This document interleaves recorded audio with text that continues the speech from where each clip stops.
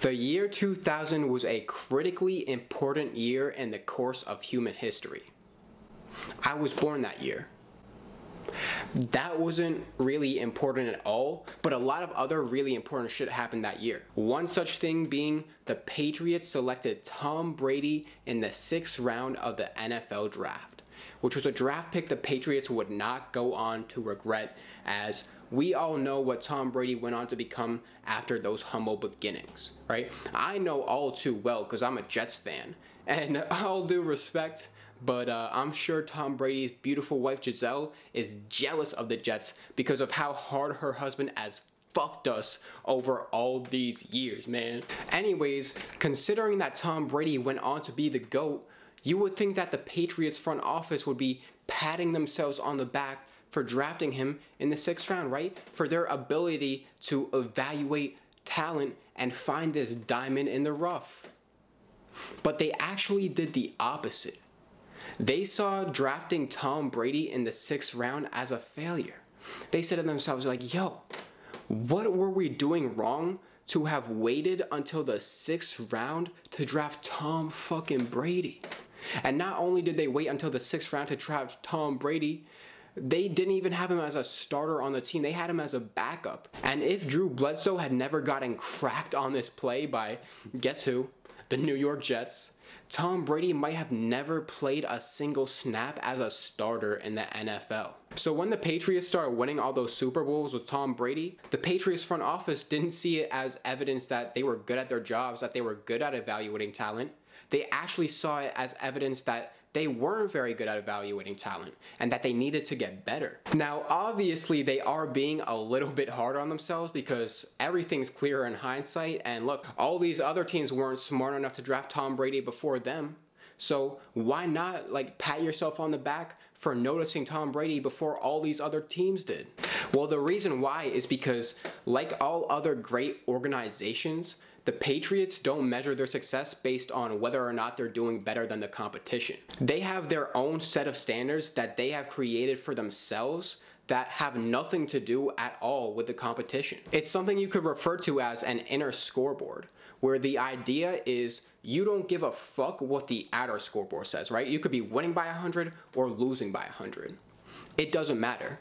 The only thing that matters, the only thing you measure your success on, is whether or not you are adhering to the extremely high standards you have set for yourself. Which, to illustrate, I want to show you guys another football example because football is awesome. It's the fourth quarter of the 2012 NCAA Championship. Alabama has been spanking Notre Dame all game and is winning 42 to 14. They're now running out the clock to complete a perfect season. Alabama is led by their star QB, AJ McCarron, and you could say life is pretty good right now for AJ. He's about to celebrate this victory with his brothers on the team. Then later tonight, he's probably gonna bang his hot ass wife, who ESPN has been broadcasting on national TV all night. So the entire country, even the broadcasters, are thirsting over this dude's wife. Now, when you're a quarterback at Alabama, you see that lovely lady there. She does go to Auburn, I want to admit that. But she also, this Alabama, and that's A.J. McCarron's girlfriend, okay? And right there on the right is Dee Dee Bonner. That's AJ's mom. Wow, I'm telling you, quarterbacks, you get all the good-looking women. Ah, it's a what a beautiful woman. Wow, he's AJ's doing some, some, things right down in So if you're a youngster in Alabama, start getting the football out and throw it around the backyard with pop. So you could say that AJ's chilling right now. He's probably on cloud nine thinking about how lit this celebration is gonna be tonight. There's just no way he could get mad or agitated in this moment, right? Yes. Second down now. And timeout by McCarron. And he's upset with he's upset with, he's upset with Barrett Jones. Wow. Boy, that is highly wow. I but thought before he pushed him, just so you understand, they're, they're, they're upset because they're both making calls and McCarron's trying to overrule Barrett Jones, and Barrett Jones is saying, you know, I'm making Before the call. Before the timeout signal, delay a game. So they're offense, a five-yard penalty. They both do so much at the line of scrimmage when it comes to making the checks up there. Oh, boy. See, there he goes. Oh, now he's, he's very upset now. Understandably, you know, these the, the two that you just saw are, are roommates. And, and there's something has really aggravated Saban. To me, there's just something so funny about this clip where you see these people and how mad they are, especially the coach, and then you look down at the scoreboard and think like, yo, what the fuck? What are you guys all so mad about? And could you imagine being a player on the other team and you're just getting destroyed all game? You know, it's the fourth quarter you've pretty much given up. I mean, you're still trying your best and everything, but you just know you're going to lose, right? You're kind of like dejected, demoralized. And then you look across the field and you see the other team is still playing with this level of intensity. Bruh, I would be petrified. Dude, I would be so scared. I'd be like, yo, coach, sub me out, please, man. Uh, these these motherfuckers are crazy, bro. They're gonna kill me out here. Mom, come pick me up. I'm scared. Okay, these motherfuckers are gonna kill me. These motherfuckers are crazy. But if you asked a player on Alabama if this was crazy, they'd be like, no, man, that's not crazy at all. What do you mean that's crazy, dude? Because at Alabama, it, it really doesn't matter what the score is, okay? They could be winning by 100, they could be losing which doesn't happen often, but sometimes Alabama loses. It could be a tie game, and it doesn't matter how big the game is either. It could be the national championship. It could be just a regular season game, first game of the season. You know, it could be a practice. Hell, it could even be a off-season walkthrough. The point is, at Alabama, they don't make dumbass mistakes that lead to dumbass penalties like this. They don't give a fuck about the scoreboard. The only thing they care about is whether or not they're living up to the extremely high standard that they have set for themselves. And at Alabama, it is unacceptable to not live up to that standard. And I know it does seem extreme that they're overreacting to this silly little mistake when they're up by like 30 points in the fourth quarter of the national championship.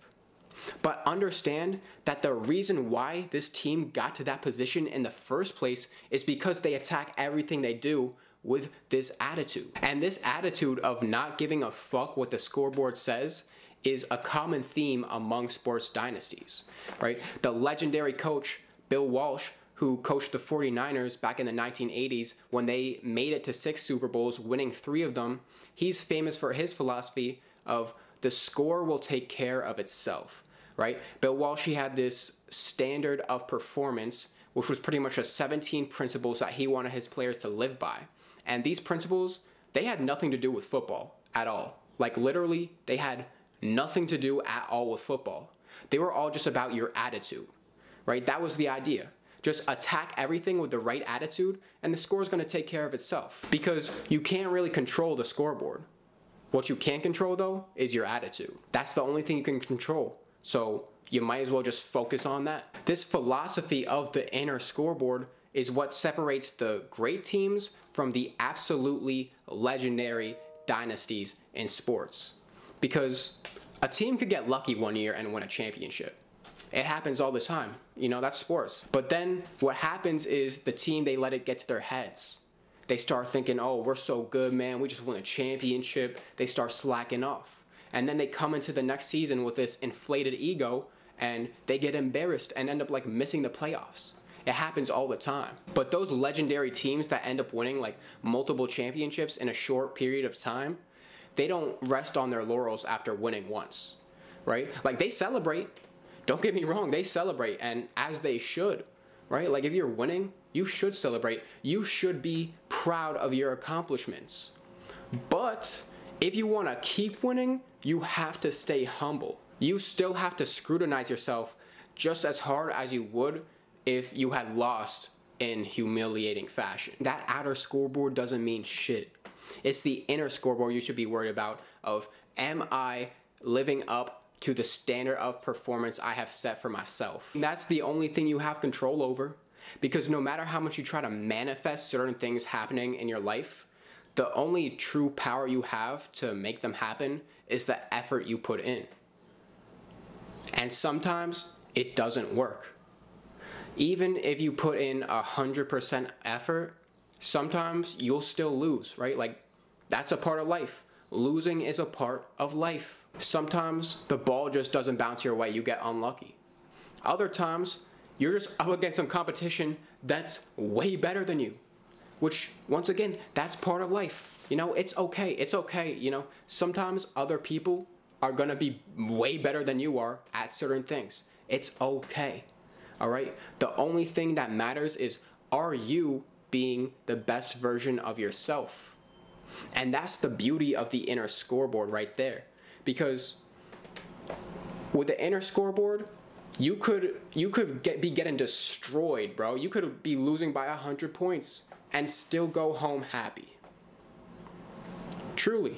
As long as you're living up to your own standard of performance, it doesn't matter what the outer scoreboard says. You could still go home with some pride because you went out and you gave it your all. Take, for example, the other weekend, the uh, O'Malley versus Moutinho fight. Moutinho was getting fucked up, bro. It was target practice for O'Malley. He was destroying him. But Moutinho can go home with his head held high because he kept fighting like a dog the whole time. Most savage son of a bitch I've ever met, man. Congratulations. this guy right here. Good job, buddy. Congratulations and good job with your money. Got paid, huh? The only thing you should ever worry about are things that are in your control.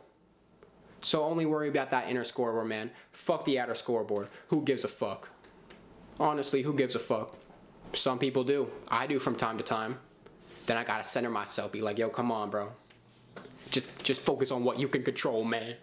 Come on, man. And look, as long as you are living up to that standard of excellence that you have set for yourself, you're gonna have no regrets, okay? You could lose, you could take so many L's, you could be a quote unquote failure, but you're not because you know you gave it your all, you'll have no regrets, and that's the best way to live right there with no regrets. Anyways though guys, thank you all so much for watching the video. Really do appreciate it. I know it's been a minute since I last made a YouTube video. Some of you guys may be wondering, where have I been? Uh, honestly, I've been chilling, man. You know, nothing's wrong. I didn't die. Nothing bad happened. I've just been chilling. Haven't really felt like making YouTube videos, to be honest. That's the reason I haven't made any videos. So I do appreciate y'all for sticking around and watching this video. Really does mean a lot. So, you know, everyone, make sure you like and subscribe, do all that fun stuff. And uh, take care. Have an amazing day, everybody. Peace.